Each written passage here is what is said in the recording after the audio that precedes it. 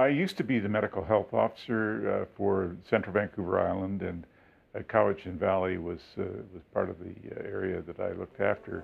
I think in a microcosm, the Cowichan Valley is like British Columbia or Canada. There's there's areas in there that are doing extremely well, and there's other areas that are not doing so well. Cowichan, in the local Salish language, means warm lands and this has kept 80,000 of us happily living in the Cowichan Valley. The Cowichan Valley is a bountiful homeland with good farmland, huge forests to work, seafood within reach, countless recreational possibilities, and close enough to the larger cities of Victoria and Nanaimo for more jobs and opportunities. But like communities everywhere, the social and economic benefits are not distributed equally and this inequality directly affects the health of our people. And when we do get sick or injured, the Cowichan Valley is blessed with the same excellent services of the Canadian medical system, with doctors and ambulances feeding our publicly owned hospitals in our major centres.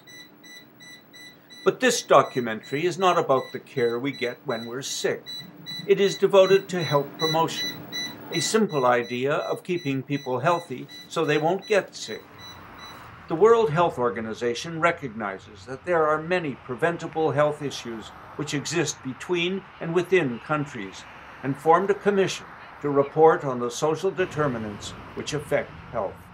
So one of the clear messages is that the practice of health promotion has to embrace social determinants of health. What the Commission on Social Determinants of Health did was to try and give practical policy guidance of what you could actually do on early child development and education, on women and gender equity, on living conditions, on employment conditions, on fair financing, and so on.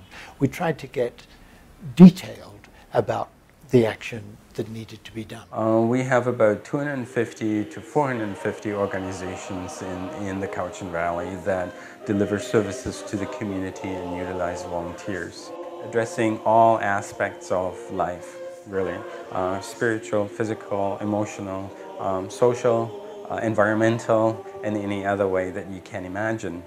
There are large organizations that uh, maintain branch offices here um, national organizations like the Red Cross Society or the Canadian Cancer Society.